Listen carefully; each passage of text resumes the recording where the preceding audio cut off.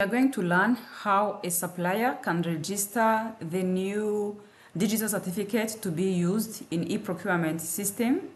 Uh, first of all, to use e-procurement system, you must have a digital certificate which you get uh, from govca.rw portal uh, where you come and apply for a new digital certificate and then follow the instructions depending on your category. Then after getting your certificate, you go back to the same portal under digital certificate services, download your certificate as already shown in a previous video. In this current video, we're going to show you now how to register your new .pfx certificate in e-procurement system, which will now be mandatory in order to log in to e-procurement, to send your bids or perform other functions which require certificates in e-procurement. We are going to start with a user who had never registered in e-procurement before, uh, but uh, you already have a company that is registered, uh, and then you want to register a new user of that company or register a new, a new certificate for that company. For e-procurement, a user is equal to a certificate. You go to the portal, to Umucyo portal. Uh, kindly note that this is just a, a, test portal. It is not the live one. For the live portal, you have to go to umucyo.gov.rw. And then you go to supplier reg. Then you go to register supplier user certificate. You must know the TIN for your company or your team if you are an individual consultant.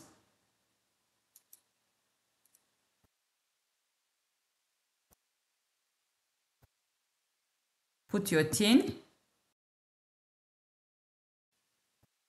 But you have must have downloaded your PFX certificate as already shown in a previous video. You must also know where you kept your new certificate. You have then to add the password for the new digital certificate and then do search. As your company is already registered, you are now offered an option to add the new user because the new user was not already registered. You have to fill in all the information required here. Before proceeding, kindly note that here we have a supplier name that is already displayed and we are required to add the username. This is because a supplier can have several users and obviously each user will have a different name. For an individual consultant, both supplier name and username will be the same, but uh, for a company, the supplier name is different you have to add now your ID, national ID, and verify if the national ID is correct. Put your address.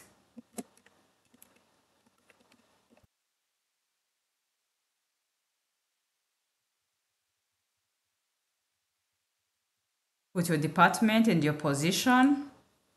Let's say you are the managing director.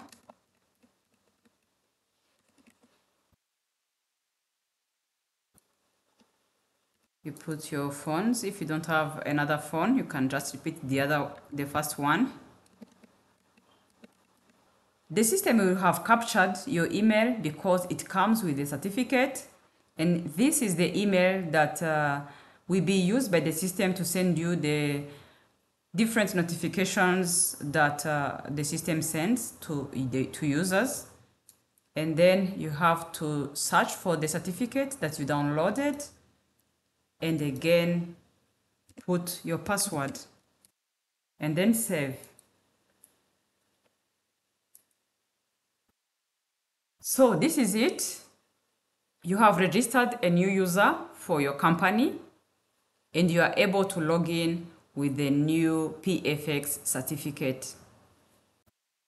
In case you are already a user, you were already a user of the procurement system and you are using other previous digital certificates, but you didn't have the opportunity to register this new uh, .pfx digital certificate, you can follow the same process to register your new certificate. You come to supplier registration, go to register supplier user certificate, add the TIN of the company, choose your downloaded uh, .pfx digital certificate, you capture your password, and then search, and then do add user.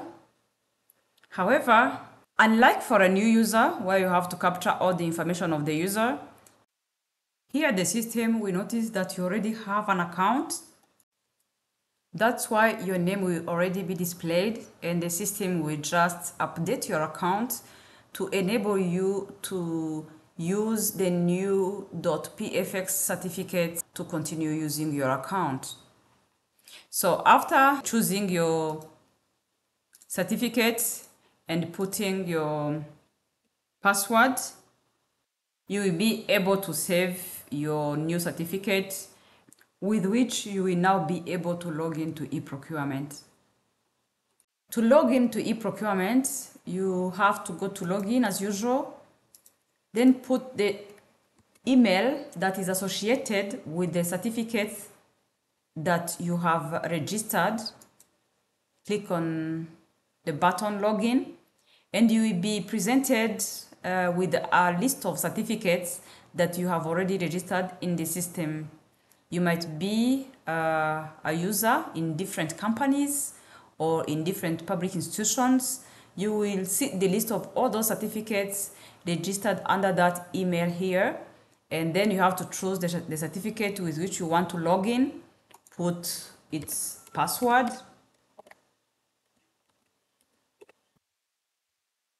and then confirm. And here it is, you are already logged in to e-procurement system as a supplier. After logging in, at times you will be requested to input the password for the certificate with which you uh, logged in. For example, when you want to submit a bid or notify a contract. So you will just have to enter the password because the system has already registered your certificate. Last but not least, you will now be able to use any machine, uh, your Mac or any other operating system to access e-procurement system. It is no longer bound to Windows platforms as it used to be.